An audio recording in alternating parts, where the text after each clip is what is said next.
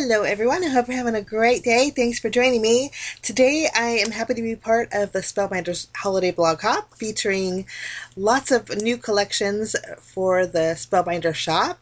Today I get to play with a collection called A Sweet Christmas and it is adorable. It is by Sharyn Sowell and I have three products here that I get to create some projects with today. This first one here is called Gingerbread Boy Garland it is a cute little gingerbread, and Christmas time, I love gingerbread. So when I seen this, I was so excited. You get the base of the gingerbread boy, and there's lots of fun elements in this little package. You get some little waves, you get the little gingerbread face that you could die cut out either in the gingerbread or separately to do some paper piecing. There's a few elements you can add to his arms and then to his little feet and then you get a, a little wave die, some stars and some hearts. So tons in this little set. I also get to play with this little set called Let, Let's Bake. I'm a baker, and so this had my name written all over it. You get a bowl, a little spatula, a little rolling pin, a little juicer, a couple spoons there. You even get a little egg, a grater, a measuring cup, and then you also get an oven mitt that I dropped. That's what took me so long to pick it up. Now for the third project today, I'm going to be playing with this little die set. It's called From Our Home to Yours. And it's a silhouette of a Santa, which is so cute. And he's holding up a little hot cocoa mug that has steam swirls coming out of it. He has his little Santa bag there. And then there's two sentiments. You get Merry Christmas. And then you also get the dies that say from our home to yours. So, um, two full sentiments that are separate. So you can mix and match if you'd like. And there's also a little um, holly leaves with little berries. So we're going to jump and get started with our first project. I'm going to start off by die cutting out my little gingerbread man and I'm just using some kraft cardstock here. He is on the full size too, so he's going to fit your card base pretty good an A2 size card base. While I'm die cutting, I'm also going to cut out his little face inside the kraft card stock. I'm just making sure he's lined up good. And there's a little wave swirl pattern that I'm going to be die cutting out a few of those. I'm going to die cut out the elements for his arms and his legs and also the three little hearts there. Now, once I have everything die cut, I'm just going to remove everything everything here. That's isn't he cute? I love his little happy face. He's so sweet. Okay, now to add elements. Oh, you know what? I'm going to give him a little bit of shading. I'm going to burn him. I'm going to make my gingerbread a little bit toasty. So I'm going around his the edges of him with some uh, Distress Oxide ink. This is a vintage photo. And just going around the edge, edges. That's how my gingerbread always turn out, is a little bit overbaked. now, I flip my gingerbread over and I add some scotch tape behind his face. This way, when I inlay the pieces for his face, which I'm actually going to die cut out right now because I didn't do that earlier, I'm just going to grab my Platinum 6 and run that through on a piece of white cardstock. But the tape, the tape is going to actually help keep my little pieces here um, set on the inside of my gingerbread. Makes it really easy. Now once we have all his um, face characteristics put together, we're going to add his feet and his little hands, the little accents there. And I'll go ahead and add the three hearts as buttons on my little gingerbread. Now I, I cut out everything in white, but if you wanted to use pattern paper you could. But I did want to add a little bit of color. So I'm going to grab my Copic markers. I'm just going to use a few colors. I'm going to use the green to color in his buttons. And you should probably wait until the glue dries. But I'm not doing any shading, just going to go over it with a solid color. And then I'm going to rosy up his cheeks with some a pink. And I'll go over his little arm decorations with my pink marker. And then for his feet, I debated on using a different color, but I just went with the pink. I love the the soft colors of gingerbreads. There's you can make a bold color gingerbread, but I like the soft colors. now I grabbed some pattern papers from my stash, cut them into a couple strips, and the little wavy decorative element that is actually made to be put on your gingerbread, I'm actually going to use it as a little scallop edge for my pattern paper. I think it creates a real softness and a, almost a vintagey look. And so I thought this was the alternate way to use that. I'm just going to trim off the excess. And I did die cut out a couple more. And we'll do the same thing to the reverse side.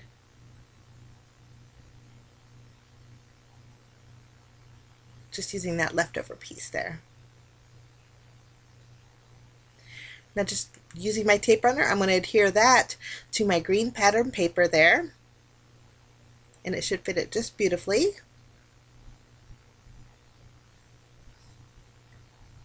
Lovely. Now, I have this embossing folder for my stash. Everything I used today, too, guys, I'll leave links below in the description area. But it's a brick pattern embossing folder, and I thought that would make a great background. So I just die cut it out, and um, I die cut it on a panel that I trimmed down to be slightly smaller than my card base. I'm just going to place my pattern paper towards the lower part of my panel, and then we're going to go flip our gingerbread over and go ahead and pop him up with some foam tape. We're going to place him kind of wonky on this panel. We're going to go ahead and tape him down to an A2 size card base. It's the top folding four and a quarter by five and a half inch card base.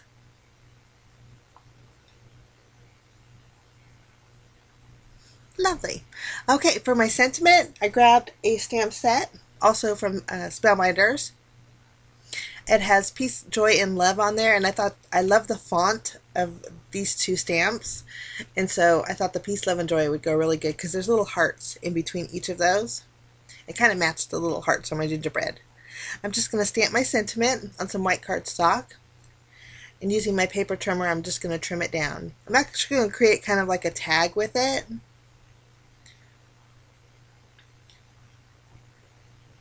So I'll block off the left side and then I'll angle the corners off. Just create, we're going to create kind of like a faux tag.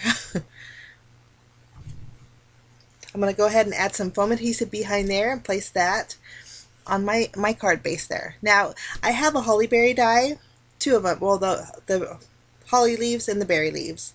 And I'm going to use my pattern paper to cut out a couple little holly berry accents. I thought that would be perfect at the end of my little tag.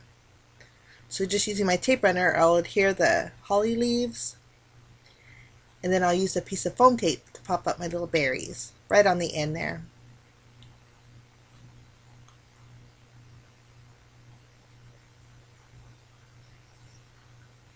Okay, now I have some twine, white twine from my stash. I'm just going to double it up and tie a bow. We'll trim down the tails, and then I'm going to place this bow in the center of those little holly berries. Just using a glue dot to secure it down.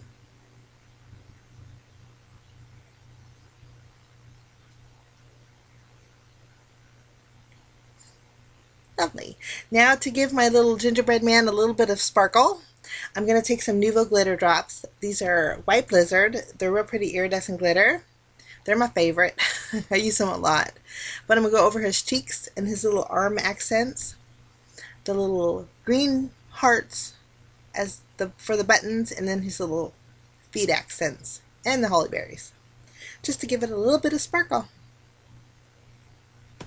And then I decided while I'm at it, I'm going to grab some Simply White Nuvo Crystal Drops. And I'm going to give some dimension to his little eyes and also that little frosting piece right on top. and that is my first project. Kind of vintagey gingerbread man. I think I love the way it turned out. So cute. Here's some close-ups. Okay, now I also want to share with you what you could do with this die. Since it is on the larger side, if you take your a card pre-folded card base place your gingerbread man so the top of it's slightly overhanging run that through your die cut machine, it will create a real fun tag. I guess that's why it is called the Gingerbread Boy Garland Tag. You could create garland with it. Oh, that'd be cute too, attaching a little ribbon to his arms. But this creates a real fun tag. Now I had decorated it, kind of fancied it up a little bit, added some lace and some ribbon to the top of it and the sentiment there. But that's just an example of what you could do with that die. I, I just, if you love gingerbread, you're going to love this die. Now for project number two, we're going to do some baking without having to do any dishes.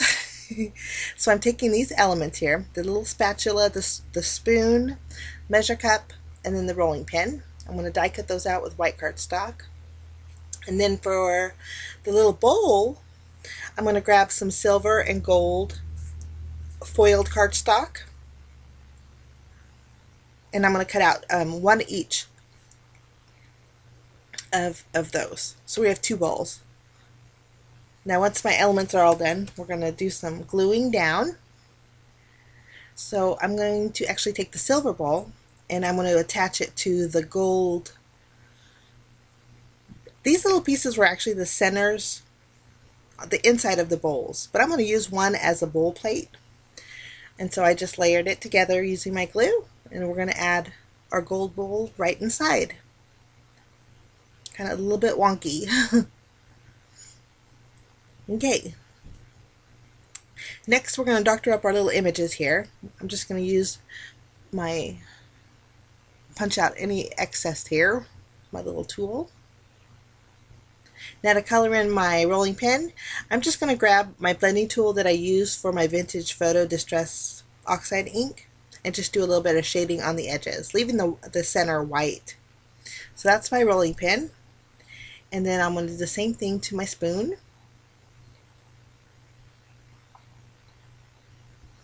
And then for my measuring cup, I'm just going to add a little bit of highlight with a gray marker. Just do a little bit of shading. You don't need very much. I wanted to kind of wanted to seem like it was a glass bowl. For my spatula, I want to bring in a little bit of pink. So I'm going to do a little shading with the light pink. Then I'm going to add a little bit of dark pink on the edge here, just to give it a little bit of dimension. I'll take that gray marker and then I'm going to add a little bit of gray to the bottom of my spatula. And then that's all the coloring we're going to do for those.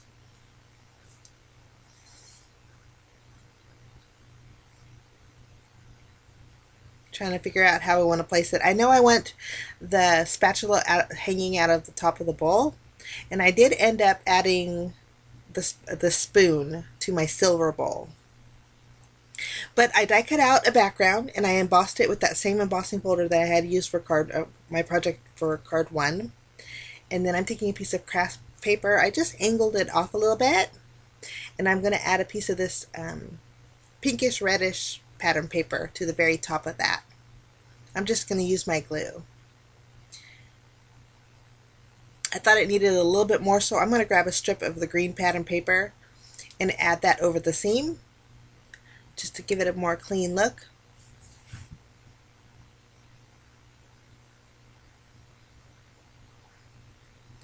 Now we're going to stamp our sentiment.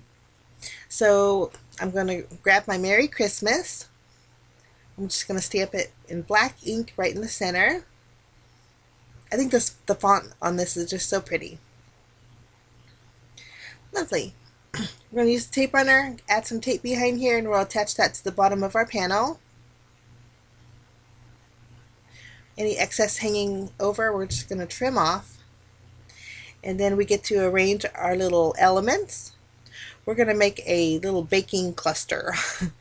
We're going to pop up our little bowls and our measuring cup. The rolling pin I just glued down to my panel.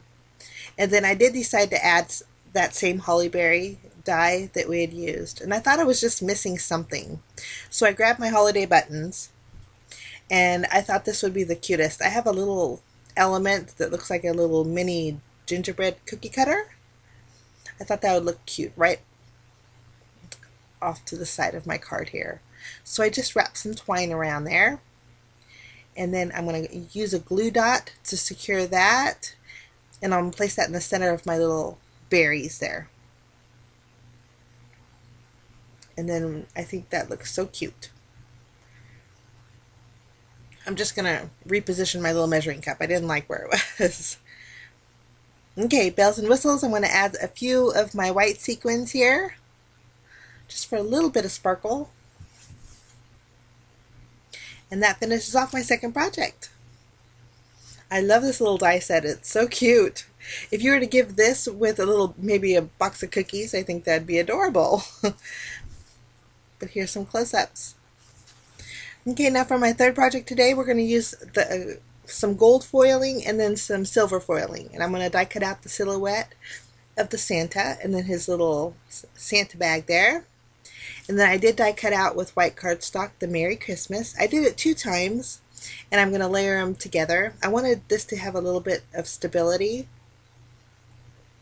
because a little bit of it is going to be overhanging. So when you um, double it up or even triple it up, it adds a little bit of stability to, to your sentiment. Okay, now I die cut out, or actually I embossed another panel using that same brick um, embossing folder. I thought we'd create kind of like an ensemble set. and it was, I just really liked that, that brick background. But I used some pattern paper here this green one has some holly berries on it, and then this one has some poinsettias. I just cut out some thin strips. And to give this a little bit more of a vintage look, I'm going to add some lace that I just grabbed from my stash. I'm going to go ahead and attach this to the center of my green pattern paper.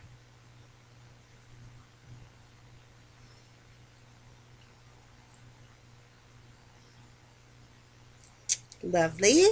Okay, now we're going to add our Santa and our little Santa bag. We're going to layer them both together. So using my tape runner, I'm just going to adhere my Santa bag to my Santa.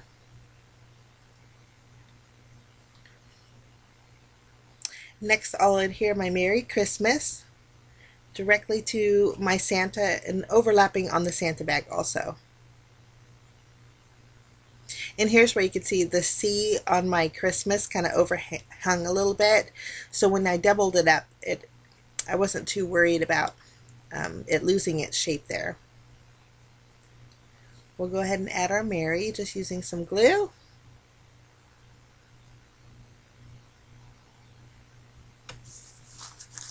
Okay, we're going to flip this over and we're going to add some foam squares behind here, pop it up so it gives our panel a little bit of dimension. Lovely. Now we're going to flip this over. Using my tape runner, we're going to adhere this to an A2 size card base. All my projects, all my cards today are A2 size card bases. So they're four and a quarter by five and a half inches. But that's going to go in the center. And then I thought it needed just a little bit more, so I have some silver, like a rope weaved twine for my stash. I just tied a bow with it. Now this kind of holds its shape. I don't know if there's wire in there, but um, it's on the thicker side. But I'm just going to adhere that using a glue dot. I'm kind of going to tuck the, the tail of this one underneath my Santa and the little Santa bag, and we'll just trim off these, this side. Kind of curl it up a little bit. And then for a little bit of sparkle, I'm going to take some more of my Nuvo glitter drops and add a few dots all around that pattern paper just for a little bit of sparkle. And that finishes off that card. Here's a close-up. So this is a Sweet Christmas collection by Sharyn Sowell and it's available over at Spellbinders. It is so fun and so cute. Um, if you like what you see and you're interested in it, um, I'll leave links below in the description area. And I encourage you guys to join the blog hop. Um, there's a prize that's going to be given away, so check out the Spellbinder blog um, for details on that. But thanks so much for joining me, guys. I wish you a fantastic day, and we will see you again real soon. Bye bye.